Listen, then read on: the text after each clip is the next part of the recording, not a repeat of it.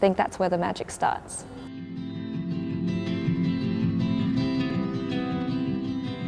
My name is Joyce and I am a professional calligrapher. I go by the pen name Artsy Nibs. I tell people that I write for a living. I write menus, invites, program sheets, anything really that you can think of using a pen and ink. The reason why I use a notebook is because it would be quite ironic if I write for a living and I don't write in my you know, planning time or leisure time. So I love the idea of pen and paper pencil and paper. I feel like it's a lot easier for me to materialize my thoughts on paper. I have many different notebooks for different things.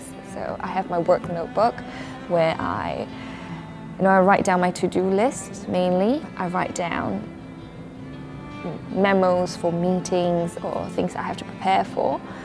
And I have my, my journal that I pen down my thoughts and then I have my sketchbook basically it's almost like a, a school kid's notebook. There's tons of doodles and ideas. I do use a different insert. I use the diary a lot, so I have you know the dates down. It's sort of my, like my personal calendar.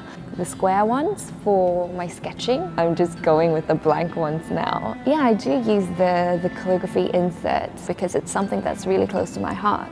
I love traveling and I'm always on the move I find that that's really good for you know, traveling. I usually go about with a pencil or my ballpoint um, when I can't travel around with my fountain pen. The calligraphy notebook actually helps me to keep up with my practice, to be honest.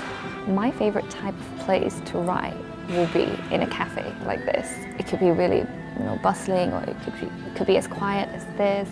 I do enjoy a cup of coffee and writing and people watching, ideally in Amsterdam. I think I would say my favorite cafe in Amsterdam will be Toki. I just use the pencil for everything because I, I do feel that um, it takes away a lot of um, pressure because you can erase it off if you make a mistake. Yeah, I'll just say a pencil.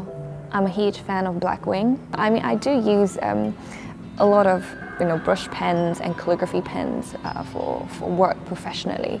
But I think by and large, when it comes to you know, the majority of the writing, um, note-taking, ideas, formulating, and stuff like that, I always believe it starts with the pencil. The pencil is the least intimidating tool. If you can pick that up, I think that's where the magic starts. We had the original shade. uh, how long have I had this? Ooh.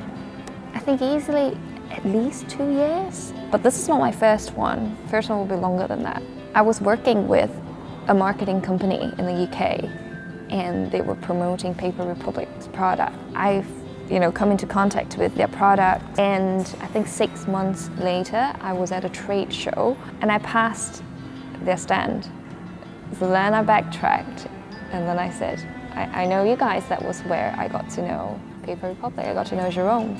I do like the options of having to choose what kind of leather cover I like. Um, I've got one in black, I've got one in this color, and I've got another one in the red one, you know, just for different purposes. I've grown to love how it changes over time. Yeah, I think mainly it's the clean look, but just colorful. I have a really bad habit of trying to put too many things in my insert. I like the idea that you know you can put in your your diary, your notebook, even your little card holders like these. It makes this entire thing a lot more valuable than my purse. This has become more important than my purse.